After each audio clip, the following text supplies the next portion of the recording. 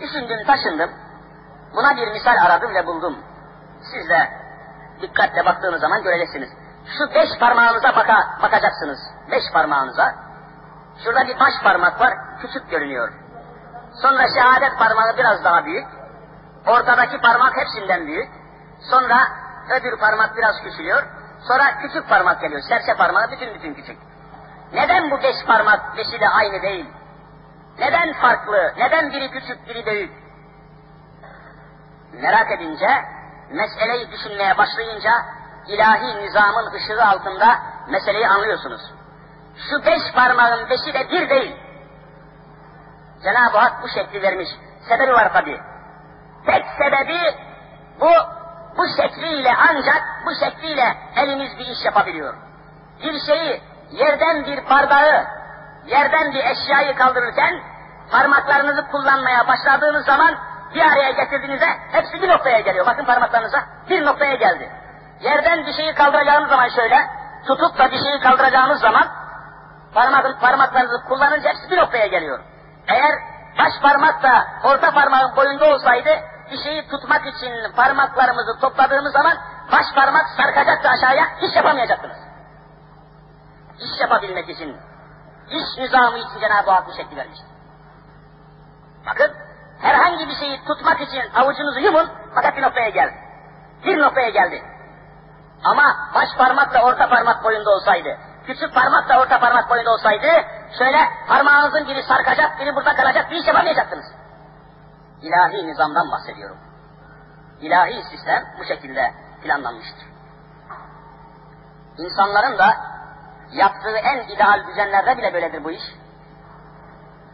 Bakınız mesela kolunuzda kol saati var. Misal olsun diye söylüyorum. Kol saati. Saatin içinde üç tane çalışan, durmadan çalışan üç tane ibre var. Birisi akrep, birisi yelkovan, birisi saniye çarkı. Saniye ibresi, yelkovan ibresi, akrep ibresi. Üç tane ibre çalışır saatte. Ama dikkatinizi çekmiş mi acaba? O saniye, saniyeyi gösteren ibre durmadan dönüyor. Saniye çarkı hepsinden fazla çalışıyor. Yelkovan biraz daha az çalışıyor. Akrebe gelince akrep, hani saatleri gösteren akrep hiç çalışmıyor gibi yerinde duruyor sanki.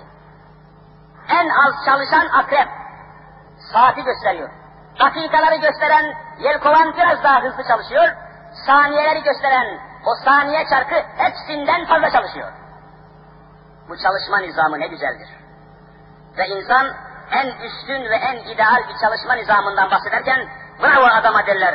Saat gibi çalışıyor. Saat gibi. Demek ki en güzel çalışma nizamı saattir. Saat gibi çalışıyor. Dersiniz. Bir şey olduğu zaman saat gibi çalışıyor efendim.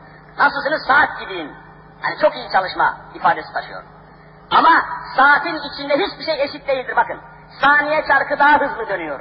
Yelkovan biraz daha yavaş dönüyor. Akrep biraz daha yavaş dönüyor. Ve ahengi böyle kurmuş Cenab-ı Hak.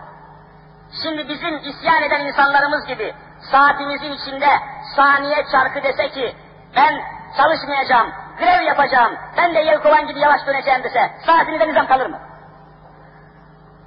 Saat nizamı bozulur.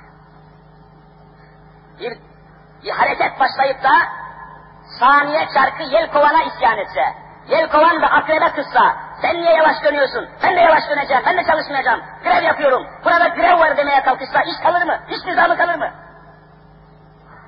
Nerede eşitlik? Mutlaka böyle olması lazım. Saniyenin içinde, sa saatin içerisinde saniye çarkı, yelkovan çarkı, akrep çarkı üçü de aynı olsa vallahi saat olmaz.